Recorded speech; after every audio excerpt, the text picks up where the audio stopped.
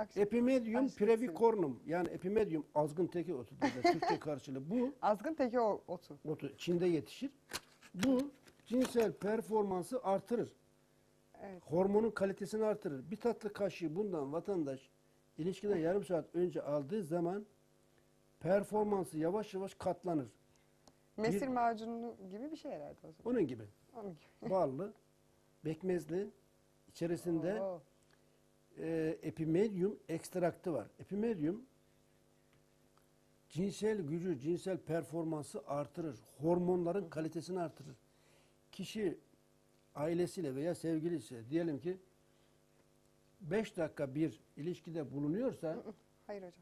Şöyle Bu- gösterelim, çevirelim biraz daha ben anlaşayım şöyle. 5 dakikada bir sürüyorsa ilişkisi bunu kullandığı zaman performansı yavaş yavaş katlar.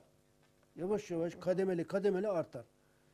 Kullanan herkes memnun. Şimdi e, ha, şeyde, ha, Hollanda'nın camisinde hoca diyor ki Gökçek macunu istemiyorum artık ben bu camide görmek istemiyorum. Kimse satmasın, kimse buraya sokmasın.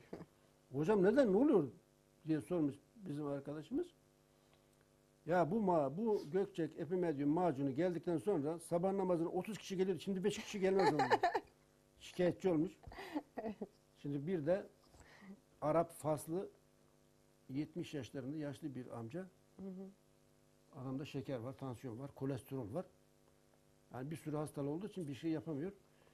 Demiş ki gerçekten etkili olursa ben sana bizim bayimize 100 euro vereceğim demiş.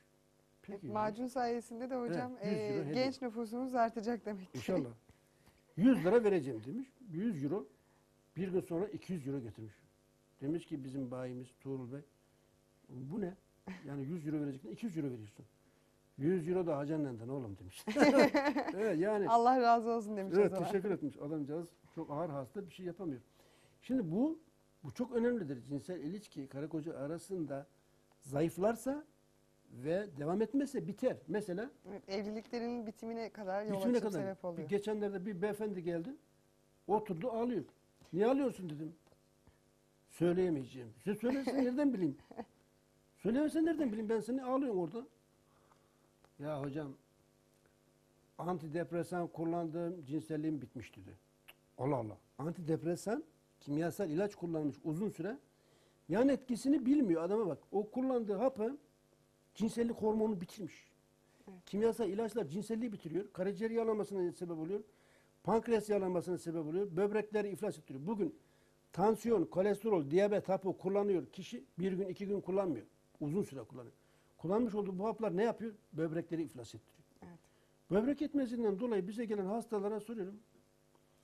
Tansiyon, kolesterol, diyabet hapı kullandıysan, antidepresan kullandıysan bir şey yapamayız. Çünkü çürütüyor böbreğe yavaş yavaş çürütüyor. Ama taş, kum, iltihap, kis ne varsa tedavi ederiz. Problem değil, iyileştiririz.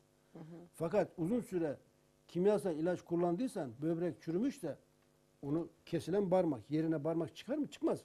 Ona bir şey yapamayız. Aa diyor ki bazısı ben ilaç kullandım. İlaç kullandıysan kusura bakma diyorum. Yani baştan söylüyorum.